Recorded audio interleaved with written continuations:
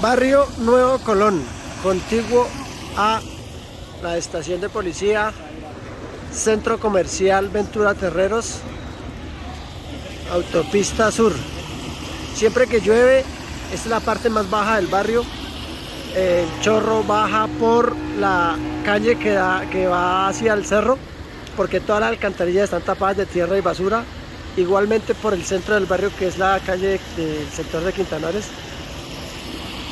eh, se tapadas las alcantarillas con tierra y basura y este es el punto más álgido porque toda el agua se acumula aquí buscando una salida.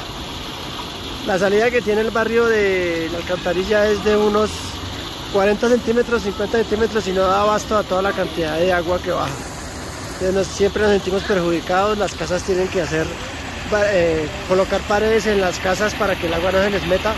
A pesar de eso, cuando sube el nivel del agua, mucho se, mezcla con las aguas negras y empieza a salir por los sifones de la casa, así que las paredes que se ponen en, el, como en el ejemplo que estoy mostrando, en las casas no surten efecto porque el agua se mete por los sifones.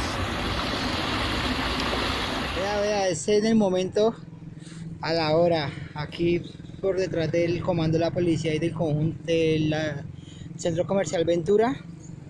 Vea cómo está. Estamos inundados. Inundados, inundados.